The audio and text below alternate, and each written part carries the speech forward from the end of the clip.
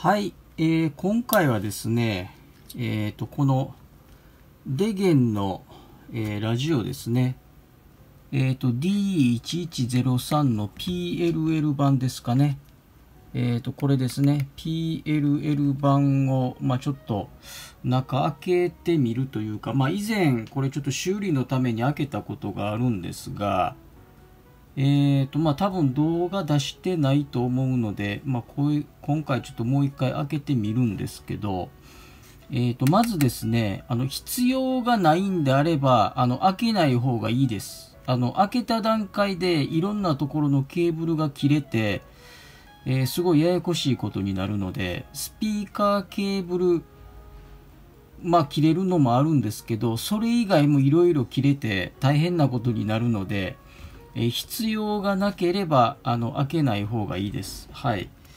えーと、まずですね、ちょっと裏返して、えーと、ここですね。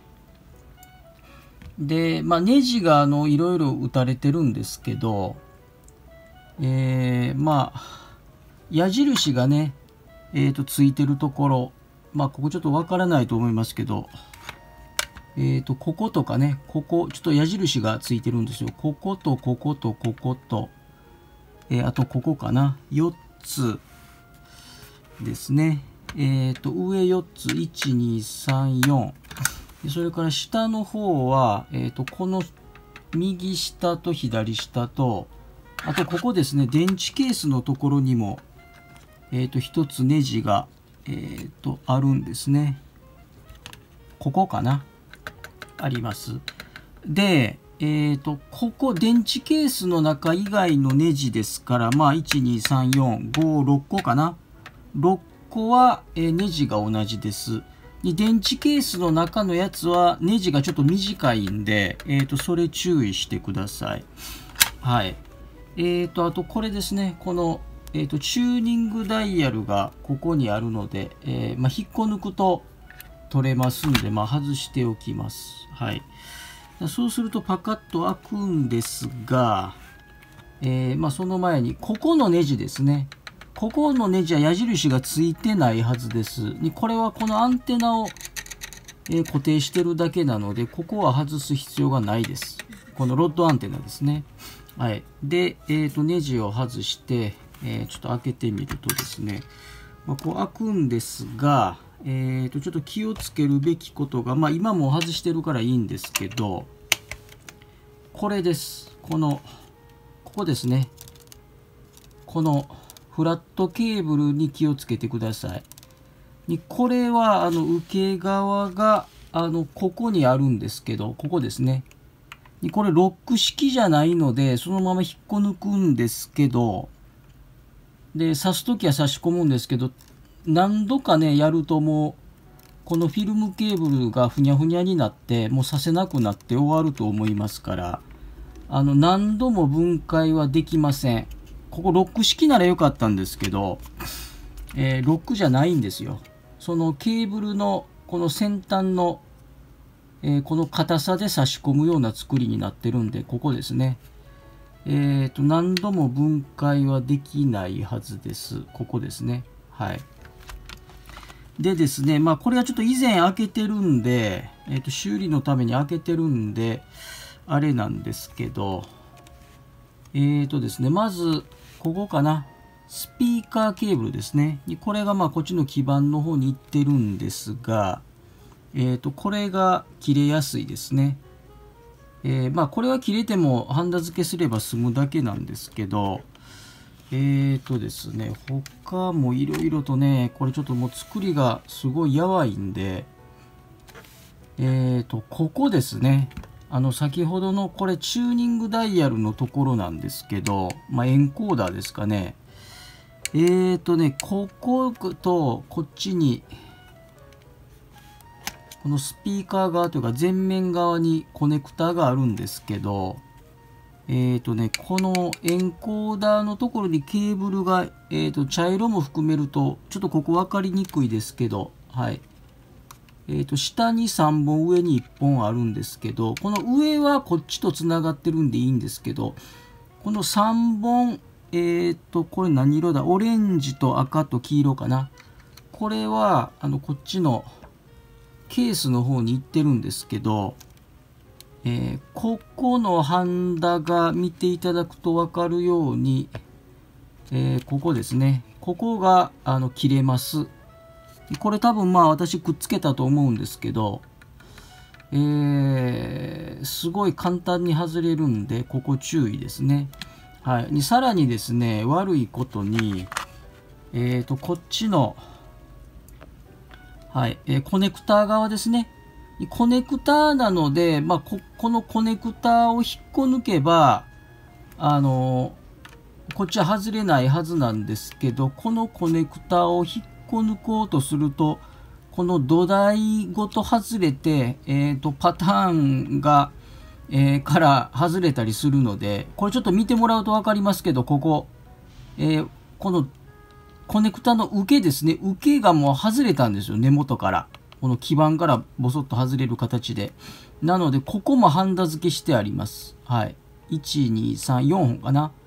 4箇所つけてるんですけど、線は3本ですね。ここ。ここも外れてるんですよ。この土台からも、土台受けも取れてるし、その上に刺してる、このコネクターのここ。上側の根元も外れてるんで、ここですね。ここもハンダ付けしてるんですよ。この赤いところと。うん、なので、すごい作りがもう弱すぎますから、あの、開けない方がいいです。あの、開けるともうこういうとこボロボロと壊れていくんで、はい。えーと、あとですね、えーと、こう閉めた時の、まあ、なぜ開けたかというと以前、えっ、ー、と、このね、ここ、前面にボタンが、まあ、こことかここにあるんですけど、これがね、あの、メタルドームなんですよ。まあ、今回ちょっとそこまでいきませんけど、もうややこしいんで、えー、メタルドームですね。まあ、こう土台があって、金属のお椀が、薄い金属板が乗ってます。それを押してペコペコという形なんで、すぐ接触不良になるんですよ、ここ。えー、なので、まあ、それの修理のために開けたんですけども、えー、っと、それがね、えー、と、まあ、多少マシになる程度なんで、えー、まあ、いずれまたダメになると思います。まあ、だから壊れるように、まあ、もうなってあるんですね。で、えっと、耐久性はほぼゼロです。でそうするとですね、えっと、今度こっち側かな。えっと、この裏側の、えー、と、ボタンがここに並んでるんで、ここですね。えー、と、ここに並んでるんで、またこの基板も外さないとダメなんですけど、この基板を外すために、まあ、こうネジとかあるんですけどね。えー、と、そうすると、ここかな？この、えー、と、ボリュームとか、あの、そっち系のボタンですね。本体前面から見た時に左上になる部分と、えー、とこっちの液晶側の基板が、えー、とここでケーブルでつながってるんですけど、こうですね。ここもちぎれます。はい。今、ここちょっとハンダ付けしてるのがわかると思いますけど、ここもちぎれます。はい。でこっちもちぎれます。えー、ということで、あのー、分解は非常に大変というか、まあ、分解するとどっかがちぎれていきます。まあ、ここがちぎれ、スピーカーがちぎれ、にここもちぎれというので、まあ、むちゃくちゃになるので、これもまあ、いずれダメになりますから、えー、開けない方がいいですね。はい。えっ、ー、と、まあ、ちょっともう今回はここ外しません。えっ、ー、とね、まあ、メタルドームなので、基板の上に接点があって、でその上にこうメタメタルドームが乗せてあって、えーと、セロハンテープなものようなものでパッと貼ってあるだけなんですね。えー、なのでそのセロどこか不良ボタンがあると、まあ、そこに行きたいんですけどそのためにセロハンテープを剥がすと他のメタルドームも全部外れてしまうんで、えーと、後の位置調整が非常に大変になります。はい。えー、っとまああとはここちょっとねケーブル増やしてあるんですけど SSB をオンにすると、えー、SSB をオンにするとランプがつくはずなんですけど、私のやつはちょっともう壊れててランプがつかないですね。えー、まあ、それのちょっと動作チェック用というか、ここに、え LED があったとこに伸ばしてるんですけど、まあ、LED を正常なものに交換してもつかないんで、えー、まあどこか抵抗が壊れてるとか、まあ、そういうことなんでしょうね LED を交換してももうつかないというので、まあ、どっか壊れてると思います。はい。えーとまあそんなところかな。はい。えー、あとですね。えーとちょっとこの絵だと分かりにくいかもしれないんですがちょっとまた戻してこうしてこう開けましょうか。はい。えーと、とにかく作りがやわいです。でえーとここを拡大したらわかるかな？えーとこことかもそうだと思うんですけどここまだましかな？こことかですね。えーとあとこっちがいいかな？ここ分かりますかね？えーと写真に出てると思いますけど。あのこのプラスチックの質が非常に悪いので、えーとこういう形でですねえっ、と、ひびが入っていきます。ここ入ってますね。まあ、上とか下とか上とか横、4方向5方向からひびが入ってますね。で、あと、まあちょっと変えると、ここもそうですね。ここもひびが入ってますね。ここ、わかりますかね ?1 本。入ってますし、この電池ケースのところ、ここもひびが入ってるんですね。はい。で、あと、ここ。えっ、ー、と、ここもひびが入ってますね。はい。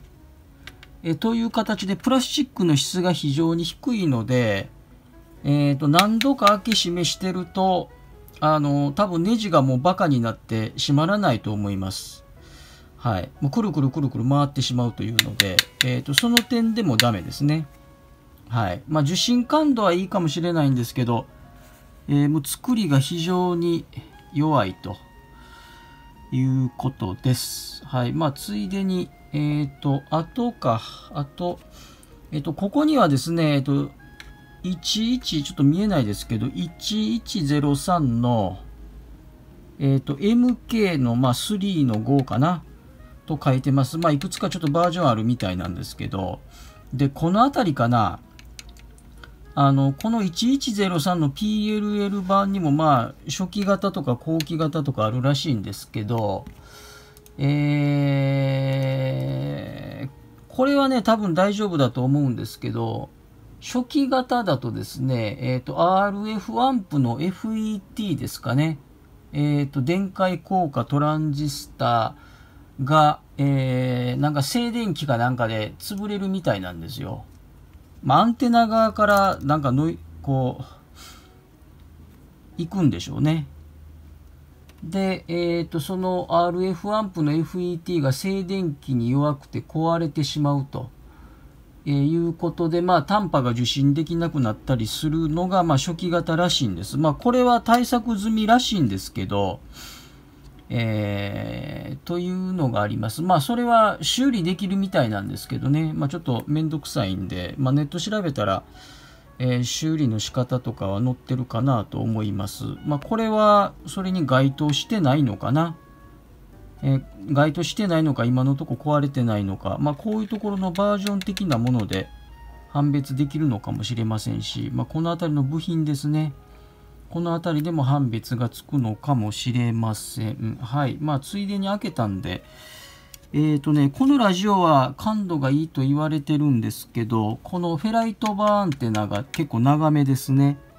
で、ここから、この人差し指のところからどこまでだろう。ちょっとこっち見えないんですけど、この辺りまではありそうなんで、え、ー、と、ちょっとまあ開けたんで長さ測っときましょうか。ゼロにして、こっから、まあこの辺りまでかな。ちょっとはっきりわかりませんけど、右側は。はい。えー、とそうすると13センチとか14センチぐらいかな、13.6とか、その辺りにあるので、まあ、結構長いですね。このケースに対して、まあ、えー、こっちの角は、ここは、あの、ロッドアンテナが入ってますから、まあ、ここは入れられないんですけど、その横からですね、ギリギリいっぱいからずっと入って、えっ、ー、と、まあ、この辺りかな。ちょっとここはわかんないんですけど、この辺りぐらいまで入ってるんで、まあ、13、えー、センチちょっとぐらいの長さはあるので、えー、まあ、その辺りも感度はいいんでしょうね。まあ、外部アンテナ接続できますし、で、まあ、外部アンテナは FM と、えー、あと短波の時だけなんですけど、まあ、基本的には、その裏技ですね。ボタン操作の裏技とかで中波でも、えー、外部アンテナが使えます。まあ、そういうネット調べると出てきますね。はい。で、ここにね、ちょっとスプリングがあるんですけど、このスプリングはどっちか、この辺りで受けるのかな。これですね、スプリングが、えー、ついてます。まあ、あとはコンデンサー類かな。まあ、これも安物のコンデンサーなんでしょうけどね、まあ、これ中国のやつなんで、えー、まあ、アリエキスプレスで1個何円レベルのやつだと思うんですけど、えっ、ー、と、まあ、そういうのが載ってます、いくつか。まあ、今のとこ膨れてないんで、まあ、これはさすがにちょっと交換するつもりはないんですけど、えー、あと、トランジスターもあんのかな？こことか多分そうだと思うんですけどね。トランジスターとかダイオードとかが、まあ、ちょこちょこ見えますね。はい。えー、ここにもあるね。ここにも、えー、コンデンサーがありますけど、はい。で、ラインアウトがここですね。でですね、えっ、ー、と、これ、まあ、作りがちょっと甘いというところもあるんですけど、ちょっとこれ映るかな。ここにですね、えっ、ー、と、こっちはなんだ？ここは、ちょっと待ってくださいね。これ寄れるかな。えっ、ー、とね、左右にね、ちょっとスイッチめいたものがあるんですよ。ここ。これは、えっ、ー、と、ニュースと、なんだろう。これはどっちだ？ニュースとミュージックですね。ニュースとミュージック。まあ、音質ということなんでしょうけど、えー、バンド幅かな？に多分近いようなものだと思います。これのですね、えっ、ー、と、これ、このプラスチックの部品、これ、えっ、ー、と、これですね、あの、簡単にポロッと取れてしまうんで、注意が必要です。これね、もう本当に、こう、爪でピュッてやると簡単に取れるんで、あの、知らない間になくなってることがありますから、えっ、ー、と、注意が必要です。まあ、それはちょっと、あの、ラジオというか、その機器としてどうなのかなと思いますけど、えー、すごい安いです。安っぽいです。と同時にですね、えっ、ー、と、こっち側、ここにも同じようなものがあるんですね。えっ、ー、と、ここ。ここです。はい。えっ、と、この DX ローカルかな。ここですね。えっ、と、これも同じ作りですから、これも外れます。はい。DX のローカルの部分と、えっ、ー、と、こっちかな。えっ、ー、と、この、画面の真ん中ですね、えっ、ー、と、ニュースとミュージックに、それからこの手前のところ、えっ、とね、これね、ライトのオンオフかな。今ちょっと画面の真ん中のとこですけど、ライトのオンオフに、これも同じ作りなんで、えっと、これも簡単にこのプラスチックのスライドスイッチが外れてしまうんで、えー、気がついたらなくなってるということになります。はい。えーと、そんな感じかな。まあ、こう、こちゃこちゃ動かしてたんで、えーと、まあ、今回のね、撮影で、えーと、またどっか切れてる可能性はありますけど、えーと、とにかくこういうところはひどいですね。もう、土台ごと、土台ごと外れるみたいな、土台が外れて、かつこの、えー、差し込む側も切れて、えー、さらにこのエンコーダー側も切れてという、えー、もうむちゃくちゃなことになるので、えーと、必要がなければ分解しない方がいいです。これもまあ、あの申し上げたように何度も抜き差しできませんし、もういずれ折れてくるんでね、この先端が。えー、まあ、あとこのネジ穴もこれで割れてくるので、もうこう割れてますけど、えー、まあ、その点でも、まあ、いずれバカになってしまらないということなので必要がなければ分解しないようにしましょうここのトランジスタ1個、これちょっと何かわからないかな。さすがにこれは映らないでしょうね。映るかな？ギリギリ読めるっぽいですけど、こっちから行ったらいいか。光を当てながら。これなんだろうね。なんとか K2 と書いてますけど、まああんまり見ないようなやつかな。もうちょっと寄れるかな？ここですね画面の真ん中にありますがはいなんかトランジスターが1個乗ってるという感じですね。はい。えーとまあこれはちょっと今ね新品でなかなか手に入れるのは難しいというかまあ新品じゃ手に入らないというか新品は DSP 版ですからねえー、ちょっと手に入らないんでしょうけど PLL 版はあの時々ね、あの Yahoo オークションに出てるんで、まあ、探してる人もいますから、まあ、それなりの値段にはなってしまうんでしょうけど、まあ、どのぐらいかな。まあ、7000円ぐらいで落とせればいいんじゃないですかね。まあ、程度のいいものであれば、まあ、1万円超えるということも、まあ、あるのかもしれないですけど、えっ、ー、と、まあ、ここのね、えっ、ー、と、その、ペットがやられないかなというので、まあ、初期バージョンじゃない方がいいと思いますね。まあ、ただ中身の写真までは載せないでしょうから、えー、まあ、あと前面のボタンの機器とかね、えっ、ー、と、まあ、前面のボタン機器、まあ、ここですけど、これを直すのは非常に厄介なんで、メタルドームですからね。はい、こうすると、この部分です。ここです。